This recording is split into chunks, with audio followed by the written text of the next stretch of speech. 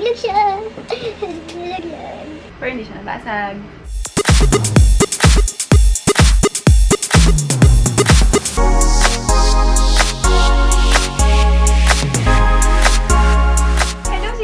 Welcome back to my channel. Candy here. Today I will be showing you my review and swatches of this Becca Apresky Face Glow Palette. This is a limited edition face palette guys. Becca released this last holiday season. I know guys, I am too late to give you a review, but I cannot contain myself guys kung gaano ko to ka-love at ka-favorite as of the moment. Sobrang gustong gusto ko to kasi it just gives you the perfect and natural rosy pink and fresh glow. Ang ganda talaga guys. I will give you swatches and how to apply this one later. As you know guys, Becca is very known for their highlighters, blushes, and bronzers that will give you from a subtle to a very blinding glow. Ang ganda nila, guys. Even the packaging, ang gaganda ng packaging ni Becca. Becca claims to be a cruelty-free company at hindi nila tinetest yung kanilang mga products sa animals, which is nice. Let's get into the packaging. This is how it looks like. Very reflective siya, as you can see, guys. Kaya pasensya na kayo kung every time na ginagalaw ko siya, nagre-reflect yung ilaw and nasisilaw kayo. I'm very sorry for that. Pero sa personal, guys, sobrang ganda niya. Mirrored siya, guys, and meron siyang print over here. What's inside the box here, you can see the actual product, which mimics the actual box. Pareho lang sila, guys, which is very gorgeous. Ito siya pag close-up, guys. I really love the design because of its icicle print or something, but it has a nice touch to it. At the back of the package, here are all the shades that's included. Ayan, nakalagay lang siya dyan. Once you open it, there's a protective film inside. Ayan. Yung protective film niya para lang din hindi dumikit yung product sa mirror. And upon opening, there you can see a huge mirror inside and of course the six shades that's included on the package. This is a travel-friendly. Meron ka ng mirror and all-in-one. There's the blushes, the bronzers, and the highlights. Siya up close. These are the shades. This is the Winterberry. This is the Icicle. Rose Quartz, which is also a highlighter. And this is the Blush Copper. This is the Opal and Bronze Bondi. So let's get started into the actual product and I'll give some swatches for you. So these are the three shades of the highlighters na kasama sa Apresky Glow Face Palette. This one is the Icicle. Ito yung new shade na kasama sa limited edition. Pag ginalagalaw mo siya, medyo may tint of blue lang siya na nagwa-white. And at the middle, there you can see the Rose Quartz. Neutral pink lang siya na medyo nude. Ang ganda-ganda niya, guys. And in here, there is the Opal. One of Becca's best-selling highlighters. Meron lang siyang gold specks na medyo champagne. So, let's just go to the swatches. These are the three highlighters. This is the Icicle, Rose Quartz, and Opal. It's very creamy, you guys. Hindi siya chunky and there's no fallouts. Very smooth and very easy to apply. Which I know Becca is really expert at. Ayan. Ang ganda nila, guys, diba? This is the Bronze Bondi. Ito yung bronzer na included sa limited edition. There you can see, not too cool, not too warm.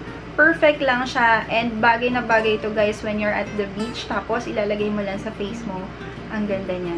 May glitter specks siya but not too much. There. I don't know if you can see it. Then, let's just proceed to the swatch. This is the Bronze Bondi. There.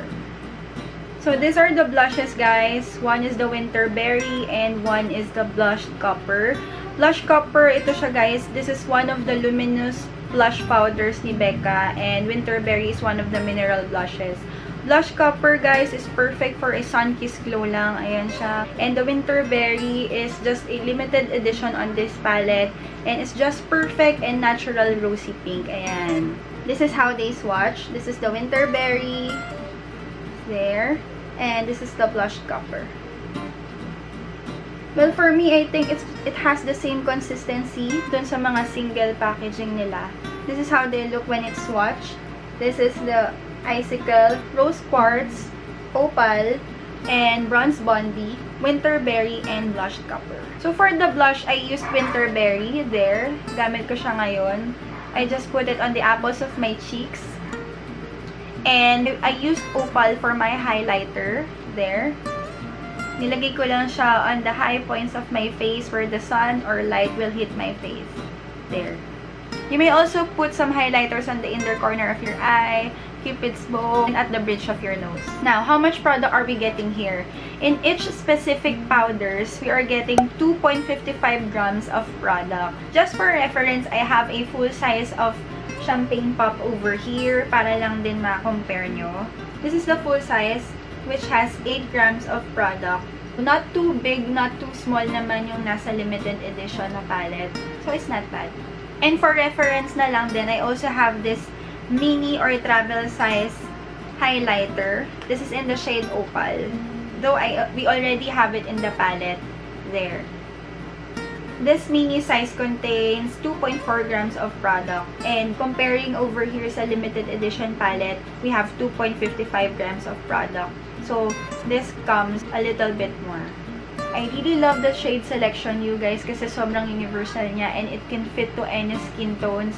Especially, you can mix and match any of this for you to create your customized shade. Perfect din siya, guys, for traveling kasi it's lightweight. Yes, guys, it's lightweight. And it comes with a big mirror, which I showed you kanina.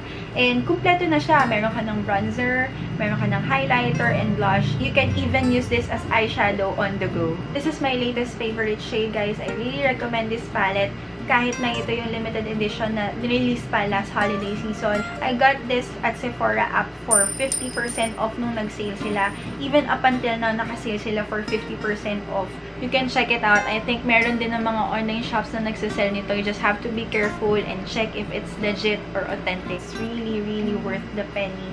I think for this product, you are really getting what you paid for. Kasi if you are willing to invest and spend for some good quality powders, this is the perfect product for you. For info lang guys, if you are looking for an affordable but very pigmented highlighters, this Skin Potions Glow Bomb Palette is the right product for you. Ayan siya guys.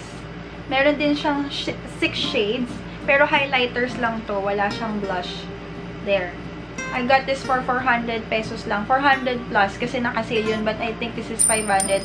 Lalagay ko na lang guys sa description box yung original price niya kasi hindi ako sure. Nakalimutan ko na. There are branches around the metro. They're also at SM. Meron din yun.